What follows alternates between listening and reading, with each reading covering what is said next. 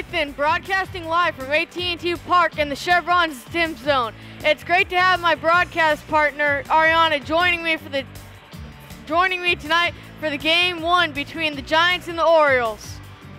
Thanks, Nathan. Giants fans have had a lot to cheer about yesterday when Brandon Belt drilled a three-run homer in the first inning, giving the Giants a 4-1 win over the Brewers and a split of the four-game series. Tonight, the Giants start a three-game series against Baltimore Orioles, and tonight is also the Giants' second Wine Fest event of the season. A special thanks to Chevron for giving us this opportunity to experience how broadcasting is done. Live from AT&T Park in the Chevron STEM Zone, I'm Nathan. And I'm Mariana. Enjoy the game. And!